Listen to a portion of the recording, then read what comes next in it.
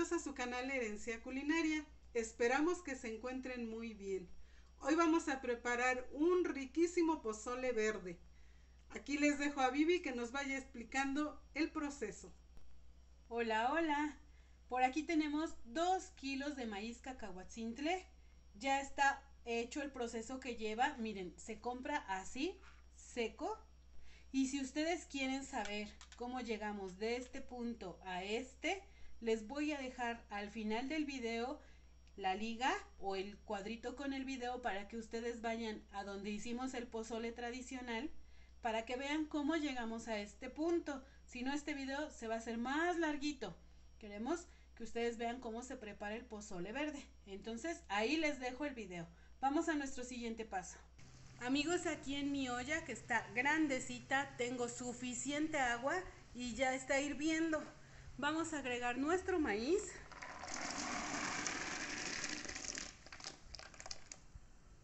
Lo vamos a tapar y vamos a dejarla así y ahorita regresamos.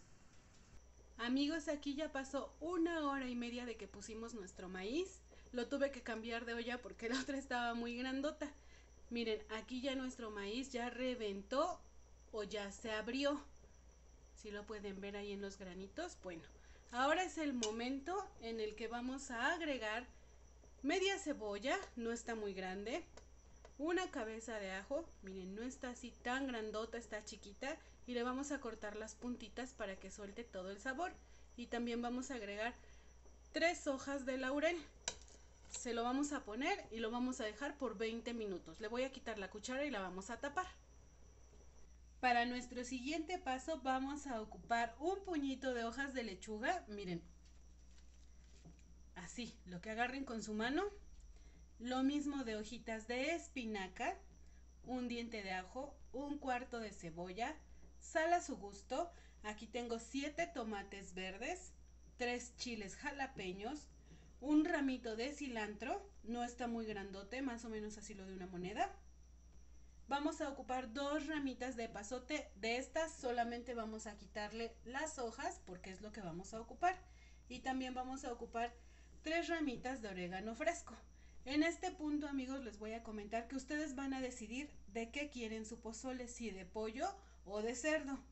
La opción que ustedes elijan, van a poner a cocer su carne, su proteína, y cuando ya esté cocida la vamos a sacar y ya sea que la piquen o la deshebren, lo importante es que reservemos el caldito, porque lo vamos a ocupar.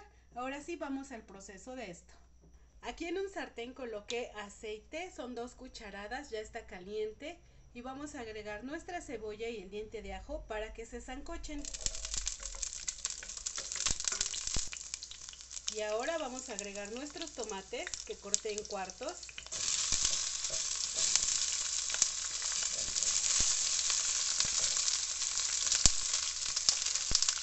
Y lo mismo, nada más una zancochada. Y ahora vamos a agregar los chiles, los corté así en rodajitas. también. Ahorita regresamos, nada más se van a zancochar. Ya están zancochados, ahora vamos a agregar las hojitas de pasote y el ramito de cilantro que corté en dos. Nuestras espinacas y la lechuga que por supuesto están bien lavados y desinfectados. Y vamos a mezclar que se zancochen también.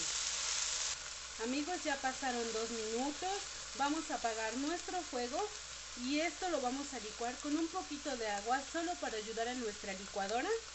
Una vez que esté licuadito lo vamos a colar y lo reservamos.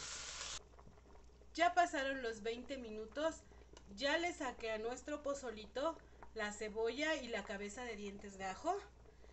Eh, las hojitas de laurel, esas sí se las vamos a dejar. Y ahora nosotras decidimos que nuestro pozole va a ser de pollo. Vamos a agregar nuestro caldito.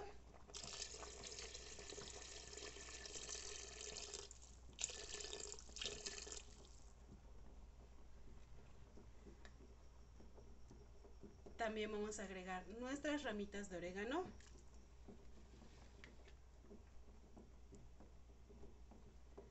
Le vamos a poner sal. Esta va a ser a su gusto. Y aquí recuerden que le vamos a poner mucho, mucho amor a nuestro pozolito porque el mejor sazón es el amor. Y por último, le vamos a agregar lo que licuamos. Ya está bien coladito.